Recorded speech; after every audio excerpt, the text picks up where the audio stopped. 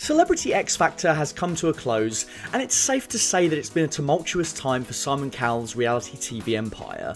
Whilst Britain's Got Talent The Champions pulled in over 7 million viewers during its first episode, the series concluded with 5.6 million viewers and finished 13th in its time slot, a far cry from the show's days as a reality TV juggernaut.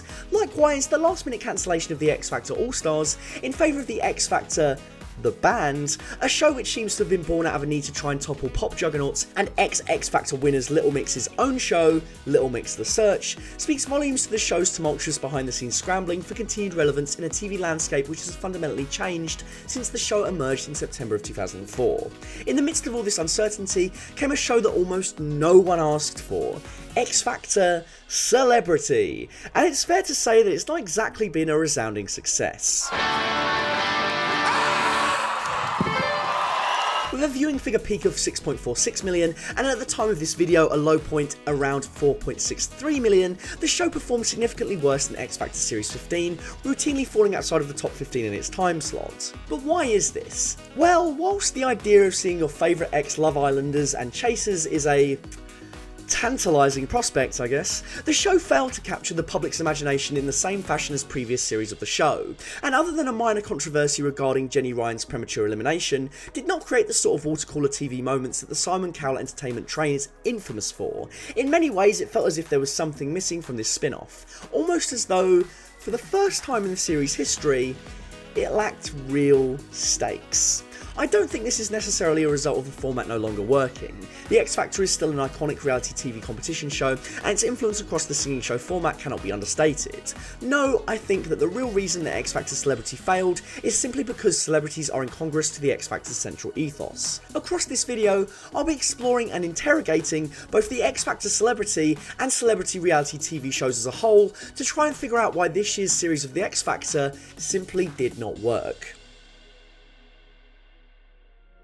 To answer this question, we have to go all the way back to our first video. Oh, look at that. Fantastic. In which we looked at how the winners of the show often failed to find success outside the confines of the X Factor's format. In this video, we delved into the mythos of the show and argued that the key to the show's success is derived from its ability to make heroes of ordinary people. This is because reality TV is inherently a form of storytelling. It seeks to show us the classical hero's journey in the guise of depicting real people in artificial situations. For a show like The X Factor, the story it seeks to tell is one of an average person plucked from obscurity who manages to find fame through their extraordinary talent and drive. It is a transformative experience. We see our characters overcome various obstacles in their path to glory, many falling at the wayside, until a champion is determined. This story is not specific to X Factor, but to the reality TV competition format as a whole. Shows such as The Great British Bake Off, Love Island, and RuPaul's Drag Race, among others, all seek to show someone going on a journey and learning from their experiences along the way before they are unleashed upon the world as something new entirely. But in a show such as X Factor, factor celebrity, this transformation is not as readily visible. In our video on Love Island, we talked about how casting teams for reality shows seek to find a diverse range of characters who fulfill particular story roles, which we boiled down to four archetypes. 1. That's just like me. 2. That's nothing like me. 3. Thank God that's not me. And finally, to perhaps the biggest extent, 4. I wish that was me. We go into more detail about what each of these archetypes mean in the relevant video, but for the purposes of this video, I want to focus in particular on the second character archetype, that's nothing like me. A lot of entertainment shows rely on larger than life characters to help boost their appeal. These kind of people have over the top personalities or live extravagant lives which you could only imagine living. But these characters need to be offset by characters whose worlds we can relate to, who give us people to root for because we can see ourselves in them. It's why a sitcom like Arrested Development works so well, because all the craziness is rooted in reality by Michael Bluth, the down to earth de facto leader of the Bluth clan. Michael's presence allows us a point of entry as we encounter the other, ridiculous members of his family, and it's through Michael that we are able to form some form of identification with the show's world. He is our method to the madness. But to extend this metaphor further, yeah what would Arrested Development be without Michael Bluth? The answer to this question arrives in the form of X Factor celebrity. Devoid of any straight, down to earth characters that the original series is famous for, X Factor celebrity is instead populated by people who you know live wildly different lifestyles to you, who don't really have that sort of down to earth factor that we look for in a classic X Factor contestant. In fact, the teasers for the show almost seem to take pride in the fact that these people are not down to earth. First off, why do you call it a chip butty? I don't think I've ever even heard of a french fry sandwich. That the show also kicks off not with blind auditions, but with a boot camp in which the celebrities are given extensive vocal coaching and performance training is even more telling of the show's commitment to showing us that these people are not like us. But perhaps this isn't the case. Perhaps the idea behind these shows is to see people in a context we have never seen them in before, and thus the experience is transformative through the celebrities learning to master a previously unmastered skill. But X Factor Celebrity, and by extension a large percentage of celebrity talent shows, don't really hold up to this premise. Predominantly because the format beats of the show do not necessarily allow for this type of transformation to take place. In a show such as Celebrity MasterChef, there is a clear trajectory in place. The amateur celebrities showcase their initial skills to the judges. Those who show promise have their techniques and nerves tested until one of them comes out on top with a newfound ability to cook to a restaurant standard. In contrast, the format beats of the X Factor are not as much of a test of increasing skills as much of a war of attrition. There is no increased difficulty to the challenges, you simply keep singing and whoever the public likes the most ends up winning the show. In the regular show, the transformation that takes place is one of confidence, of seeing an ordinary member of the public often dressed in normal clothes with an unfashionable haircut, reach the final with a newfound confidence to have gone from nothing to something over the course of the show's run. But in its celebrity variant, X Factor is dealing with people who already are something, and so what exactly is the purpose of the journey? Just as we do not buy that the viewers of, say, the Celebrity Pack 2005 version of Love Island will go on to form lifelong relationships, it is difficult to buy that the celebrities that are involved in the X Factor will go on to achieve successful, lasting careers in the music industry. And this is because when celebrities are involved in the show, it breaks down the X Factor's structural confines and makes the show inherently metatextual. Let me explain. As I have previously stated, reality TV shows are obviously carefully constructed. Whilst they purport to depict life as it is, they are subject to the same format beats as scripted television shows, predominantly because they are a form of entertainment. However, a well crafted and constructed reality TV show is great at hiding this fact. Put simply, if a show ensures that it's entertaining enough and doesn't stray into a too obvious and predictable formula, it is easy for audiences to suspend their disbelief and immerse themselves in the world of the characters. But when dealing with celebrities, reality TV shows struggle to conceal their format points as easily due to the fact that outside and widespread knowledge of the celebrities in question often influences the reception of a given episode of the show.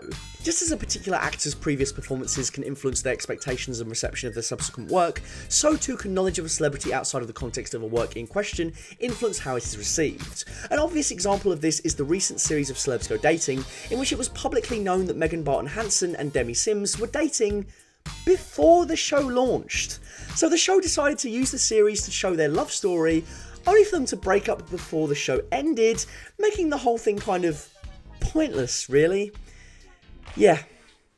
This kind of surface level metatextuality impacts upon our reception of certain elements of the show and the standards by which we hold certain contestants. For example, we might look at someone like Vinnie Jones and give them a free pass because, you know, he's Vinnie Jones, the guy from Snatch. He's trying his best, right? I've had the time of my life. But this kind of awareness doesn't just mean that our biases towards certain celebrities sometimes override our ears, but also impacts upon the kind of hyperbole that is used on and off the show to represent its contestants as credible and talented entertainers.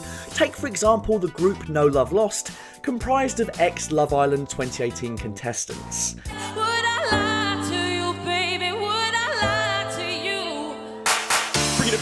Place where we started. Living in a small town of London where my heart is. Found my diamond in the concrete jungle. There is a clear deficit of talent within this group, no offence, with Samira Mighty's vocals overpowering everyone else's across all of their performances. When the group was eliminated, Simon Cowell was interviewed by the Metro and asked whether he thought Samira had what it took to go solo, to which he replied, That's a very, very good idea. Do you want to tell the other three that? So far, so X Factor hyperbole. In a normal series of the show, we'd see Cowell snap someone like Samira up after the finale and attempt to catapult their career into the stratosphere. But there is one crucial difference here. Samira Mighty is already a professional singer. Yes, she's known predominantly for being a contestant on Love Island, but her background is as a West End performer who has starred in shows such as Dreamgirls and Mamma Mia. There's no question that she could easily go solo because she already went solo years ago? The same argument can be made for Kevin McHale, who is literally famous because of his work in Glee, a show where the actors have to sing. This level of metatextual awareness makes the whole thing feel staged because, well, it is. When the judges are giving their comments to contestants like Samira and Kevin, it all feels a bit hollow because, well, we've already been there and done that. It simply doesn't work. The recognisability of so many of these faces as staples of other reality TV shows also adds to the feeling that the show is an exercise in self promotion. Wes Nelson has previously made an appearance on Dancing on Ice, Victoria Ekanoye has been featured on The Chase, and Jenny Ryan was only recently a semi finalist on MasterChef. Featuring celebrities who have been on other reality TV shows before obviously doesn't invalidate their talent at all. Some of these celebrities have proven over the course of the series that they are talented vocalists, but their appearances on multiple reality TV shows does make it feel like they're only here as a means to garner some easy publicity. The people who compete on X Factor make it clear that this is their dream. They have the opportunity to seize that dream and try desperately not to let that moment go to waste. That's a good story, no matter how you cut it. But let me ask you this Is it really Wes Nelson's dream to become a famous musician? Every time that I step inside, I don't want a quick thing. Yeah, I'm looking for vibes. Yeah, a hella sweet one that I know I can trust. Probably not. This is simply another way to make some extra cash and retain cultural relevance in a similar manner to the fame hungry David Brent we see in the Office Christmas special. What are you up to at the moment, David? Just doing this at the moment.